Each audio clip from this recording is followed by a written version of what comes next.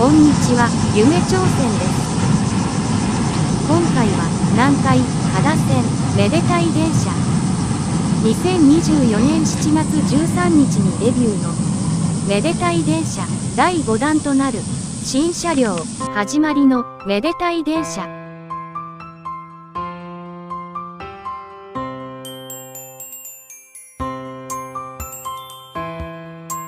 これまでめでたい電車は4種類。ピンク色で母のめでたい電車幸水色で父のめでたい電車貝赤色で子供のめでたい電車7黒色で幸の兄のめでたい電車頭を運行しています。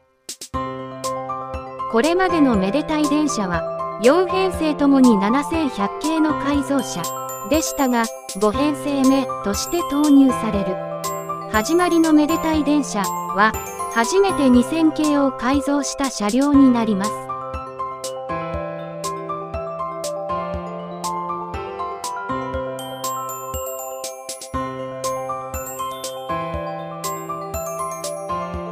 第5弾となる新車両のテーマは太鼓2006年和歌山県有田川町で発見された。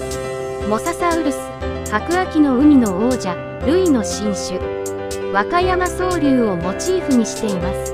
めでたい電車は和歌山市加田地区に観光客を誘致しようと2016年に導入。地元特産のマダイをモチーフにカラフルなデザインの4編成があり4匹の家族という設定です。新車両は4匹の遠い先祖という位置づけになります。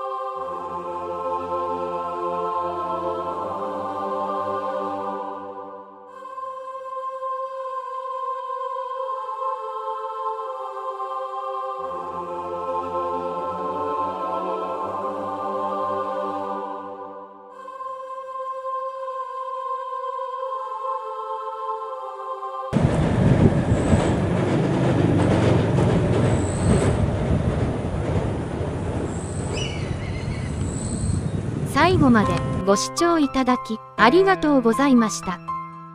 Thank you for watching. Don't forget to like the video. よろしければコメント、高評価、チャンネル登録をお願いいたします。Please subscribe to my channel.